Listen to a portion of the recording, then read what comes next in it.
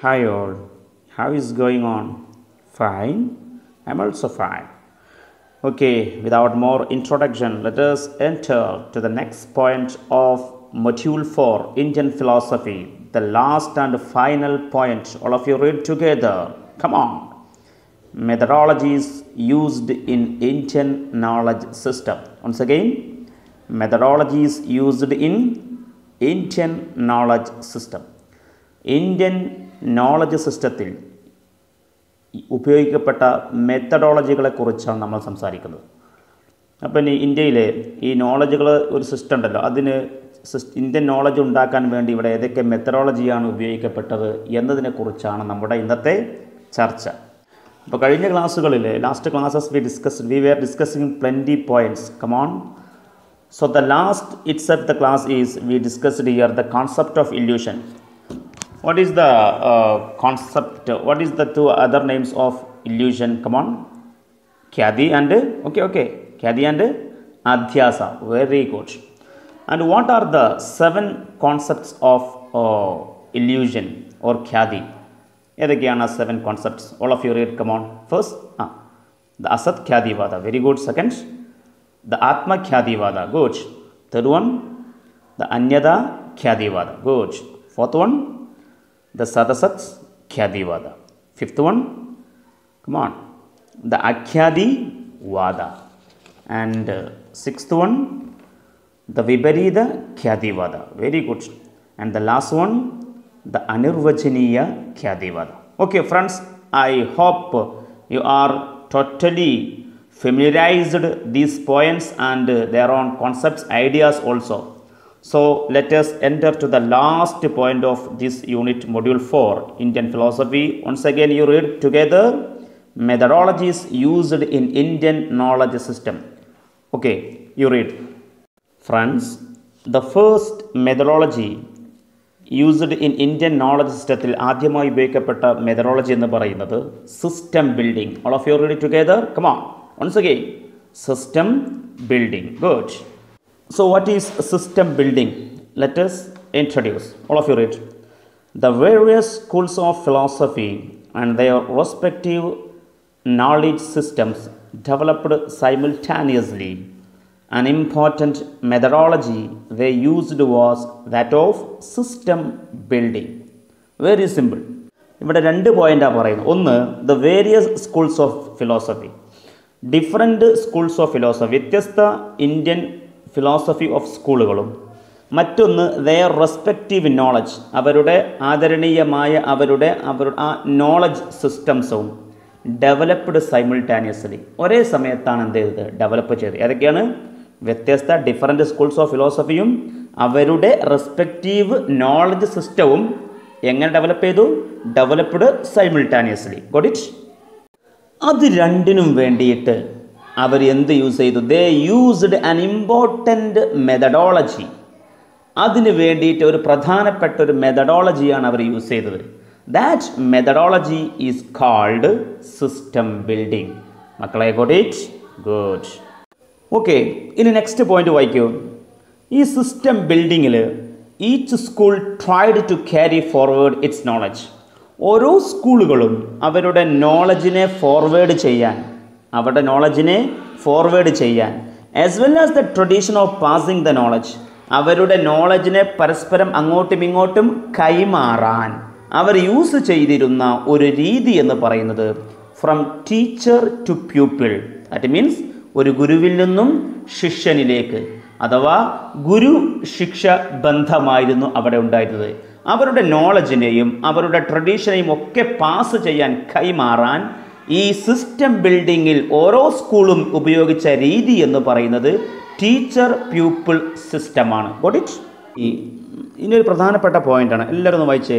As the different schools and their theories of knowledge coexisted each of them needed to defend their ideas against other schools and also to challenge the other schools ഈ പറഞ്ഞതിന്റെ ഒരു അർത്ഥം ശ്രദ്ധിക്കൂ. Different schools അവരുടെ തിയറികളും coexisted that means നമ്മൾ ഒൻപതോളം സ്കൂളുകൾ പഠിച്ചല്ലോ അല്ലേ? അതാണ് ഡിഫറെന്റ് സ്കൂൾ അവ അതും അവരുടെ തിയറികളും കോ എക്സിസ്റ്റഡ് ഒരേ കാലഘട്ടത്തിൽ തന്നെ നിലനിന്നിരുന്നു എങ്കിലും each of them needed to defend ഓരോ സ്കൂളിനും ആവശ്യമായിരുന്നു ടു ഡിഫെൻഡ് ഒന്ന് പ്രതിരോധിക്കാൻ. വെയർ ഐഡിയാസ് അവരുടെ ആശയങ്ങളെ എഗെയിൻസ്റ്റ് അതർ സ്കൂൾസ് മറ്റ് സ്കൂളുകളുടെ ആശയങ്ങൾക്കെതിരെ തങ്ങളുടെ ആശയങ്ങളെ പ്രതിരോധിക്കാനും ഉയർത്തിപ്പിടിക്കാനും ഇവർക്ക് ആവശ്യമായിരുന്നു. And also to challenge the other school അങ്ങനെ മറ്റ് സ്കൂളിനെ ചലഞ്ച് ചെയ്യാനും ഇപ്പം ന്യായ സ്കൂൾ സാഖ്യ സ്കൂളിന് എന്ത് ചെയ്യുക എന്ത് ചെയ്യുക പറയൂ. ചലഞ്ച് ചെയ്യുക എന്നിട്ട് ന്യായ സ്കൂൾ പറയുകയാണ് ഞങ്ങളുടെ ആശയമാണ് ഏറ്റവും നല്ല ഉദാത്തമായ ആശയം എന്ന് പറഞ്ഞിട്ട് ഡിഫെൻഡ് ചെയ്യാനും ഓരോ സ്കൂളുകളും അങ്ങോട്ടും ഇങ്ങോട്ടും ശ്രമിച്ചിരുന്നു. എന്ന് മനസ്സിലായോ? ഗോട്ടിറ്റ് ഇനി പറയുന്നത് മറ്റ് പ്രധാനപ്പെട്ട ഒരു പോയിന്റ് എല്ലാവരും വായിക്കൂ. In order to defend themselves the members of a school of philosophy അപ്പോൾ സ്കൂൾ ഓഫ് ഫിലോസഫിയിലെ മെമ്പർമാർ അപ്പോൾ ഓരോ സ്കൂളിലെയും മെമ്പർമാർ അവർ ഡിഫെൻഡ് ചെയ്യാൻ വേണ്ടിയിട്ട് would use their combined effort അവർ എന്ത് എന്ത് യൂസ് ചെയ്തു? അവർ യൂസ് ചെയ്തിട്ടുണ്ടായിരുന്നു ദെയർ കമ്പൈൻഡ് എഫോർട്ട് അവരുടെ കമ്പൈനായ എഫോർട്ട് ദാറ്റ് മീൻസ് അവരുടെ കൂട്ടായ പരിശ്രമം അവർ അതിനെ യൂസ് ചെയ്തു. എന്നിട്ടോ?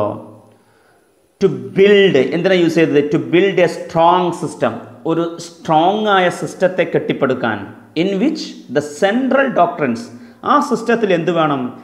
സെൻട്രൽ ഡോക്ട്രൻസ് എന്ന് പറഞ്ഞാൽ ഓരോ സ്കൂളിന്റെയും അവരുടേതായ ഒരു കേന്ദ്ര ആശയങ്ങൾ ഉണ്ടാവുമല്ലോ. കേന്ദ്രാശയം ഒരു കേന്ദ്രാശയം എല്ലാവർക്കും ഉണ്ടാവും. അതിൽ നിന്നാണ് മറ്റാശയങ്ങളൊക്കെ ഉണ്ടാവുക. അപ്പോൾ ഓരോ സ്കൂളും അവരുടെ കേന്ദ്ര ആശയങ്ങളെ of that philosophy would be secure ഓരോ സ്കൂളിന്റെയും സെൻട്രൽ ഡോക്ട്രിൻസ് കേന്ദ്ര ആശയങ്ങളെ പ്രിൻസിപ്പിൾസിനെ ഡോക്ട്രിൻസിനെ സെക്യൂർ ആക്കാൻ കൂട്ടമായി പരിശ്രമിച്ചു എന്നർത്ഥം.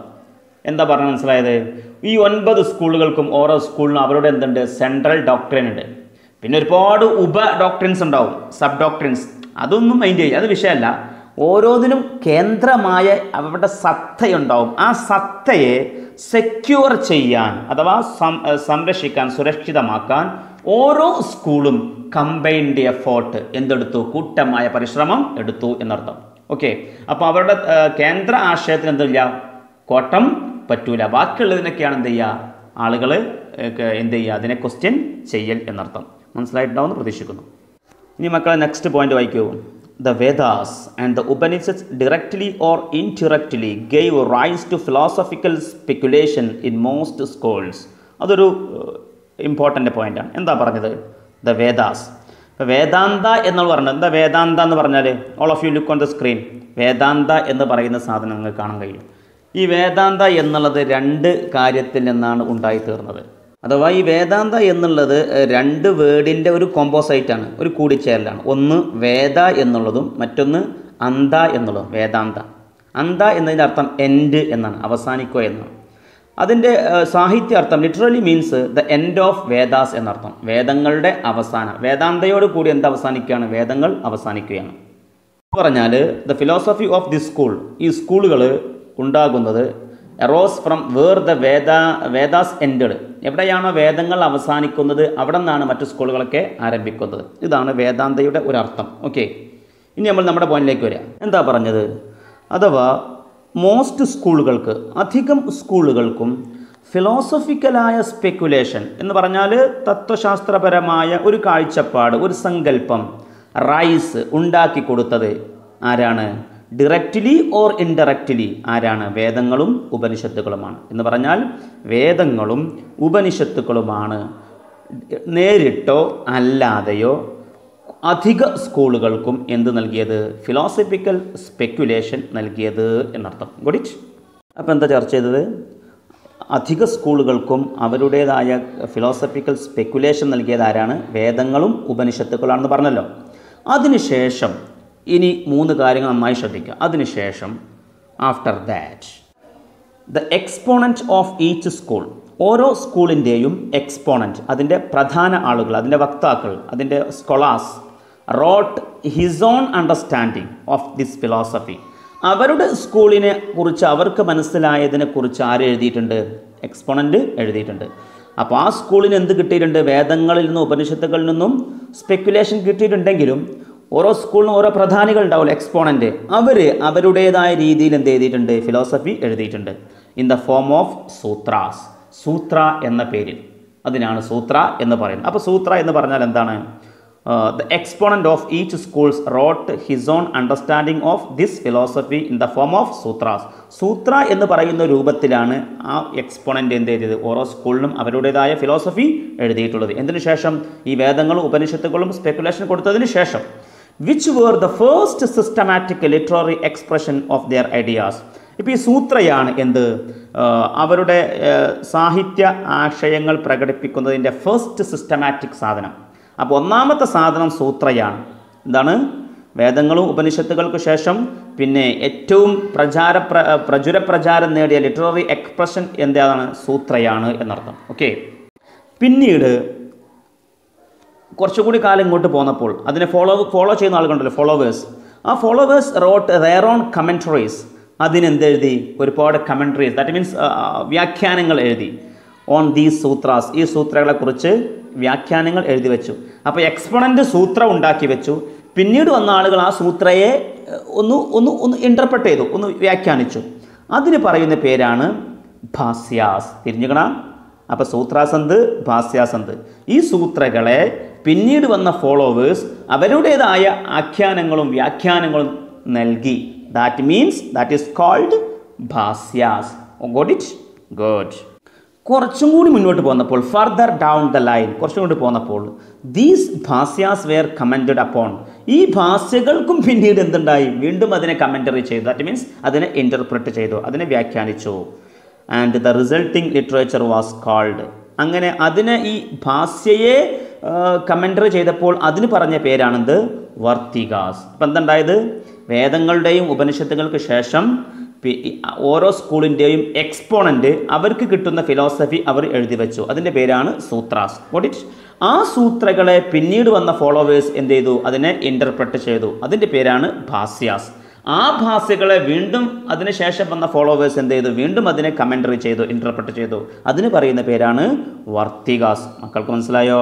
ഗുഡ് ഇനി പറയുന്നതാണ് പ്രധാന പോയിന്റ് ശ്രദ്ധിക്കുക the line of commentators continued പിന്നീട് ഈ കമന്റേറ്റേഴ്സ് തുടർന്നു കൊണ്ടേയിരുന്നു ദാറ്റ് മീൻസ് അവസാനം നിർത്തിയത് വർത്തികാസിലല്ലേ? വർത്തികാസിനെ ഫോളോ ചെയ്ത് വന്നവർ വീണ്ടും അവരുടെ ആഖ്യാനങ്ങൾ തുടർന്നു കൊണ്ടിരുന്നു ടു പ്രൊഡ്യൂസ് മോർ കമന്ററീസ് അങ്ങനെ അവരെന്ത് ചെയ്തു കൂടുതൽ ആഖ്യാനങ്ങൾ നൽകിക്കൊണ്ടു.